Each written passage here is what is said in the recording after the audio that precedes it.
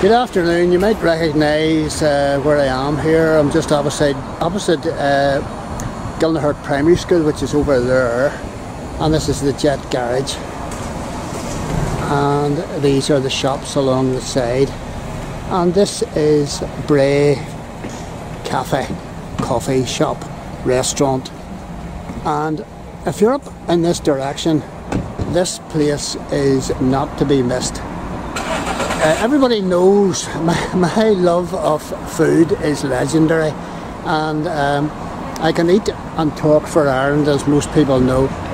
And this is a place don't go by this place this is excellent. This place is a wee gem uh, locally sourced uh, foods produce and a lot of home, in fact everything is home uh, cooked. So we have Brae Cafe on the Hill and uh, Drains Farm uh, gives them uh, or provides them with a lot of produce. Um, there's a wee menu up here so you can see the, the type of thing that that they uh, they have. So here's the uh, the opening hours. And then uh, breakfast menu, lunch menu and kids menu.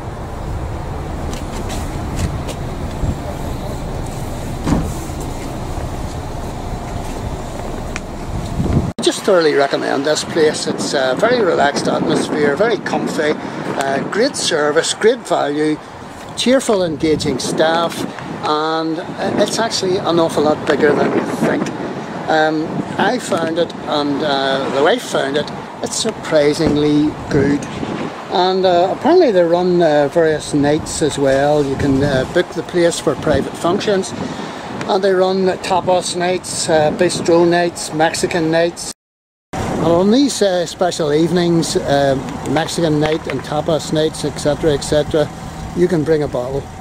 So um, you can walk down here if you live in this area, walk down here and enjoy a meal, enjoy a glass or two of wine and walk back home.